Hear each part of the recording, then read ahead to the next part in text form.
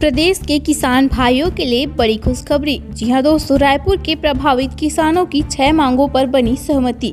कृषि मंत्री ने दिया निर्देश। छत्तीसगढ़ के रायपुर ज़िले में कृषि एवं जल संसाधन मंत्री रविंद्र चौबे ने कहा कि नई राजधानी परियोजना नवा रायपुर के प्रभावित किसानों की आठ मांगों में से छह मांगों पर सहमति बनी। मुख्यमंत्री भूपेश बघेल के निर्देश के अनुसार किसानों की समस्या एवं उनकी मांगों पर विचार विमर्श के लिए गठित मंत्रिमंडल उप समिति किसान कल्याण समिति के प्रतिनिधियों से प्रभावित किसानों की मांगों और समस्याओं को लेकर के लगातार चर्चा कर रही है। बता दें कि अब तक तीन बैठक में किसान प्रतिनिधियों के साथ सार्थक चर्चा हुई।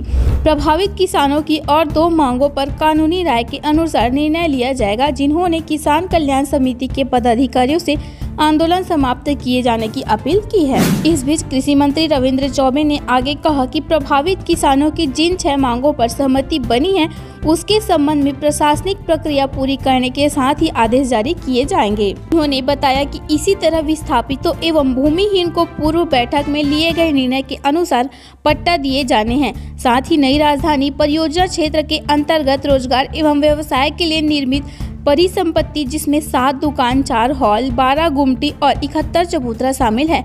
आवंटन प्रभावित क्षेत्र के लोगों को लागत मूल्य पर लॉटरी के माध्यम से करने और 27 गाँव में ज़मीन की खरीदी बिक्री के लिए अनापत्ति लेने से मुक्त कर दिए गए हैं।